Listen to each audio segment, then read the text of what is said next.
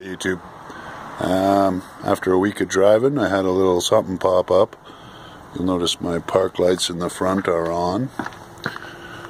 And we'll travel out back. And I got nothing. No park lights, no brake lights, no signal lights. So, I'm going to have to check out see what exactly is going on. So we'll have a boo. Let's get back to you.